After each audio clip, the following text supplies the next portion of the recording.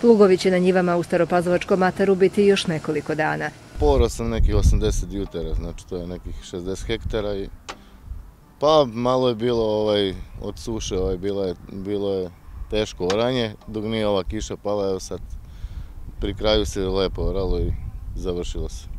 U Pazovačkom napretku je od 2300 hektara površina za oranje ostalo još 300. Jesenje ili zimsko oranje jedna je u nizu agrotehničkih mera koja podrazumeva osnovnu obradu zemljišta za prolešne kulture, a ratari treba posebnu pašnju da stave na primenu džubriva. Bacili smo ovaj, ovo za zaoravanje, znači MABI KCL i ove 8, 16, 24 koje idu za zaoravanje ili tako jesenje. Poželjno je izvršiti analizu zemljišta. Na svim parcelama Delta Agrara radi se takozvana precizna poljoprivreda u koju su uključene savremene informacijone tehnologije. Konkretno u osnovnoj obradi dodajemo negde oko 60, 80, 90 kila fosfora ovaj, i kalijuma negde recimo oko 50-60 kila zavisnosti šta analize pokažu. Od izuzetne važnosti je i stajnjak. Tradicionalno dobra mera koja se nažalost malo primenjuje. To je da kažem idealno za zemljište, samo što toga ima vrlo malo i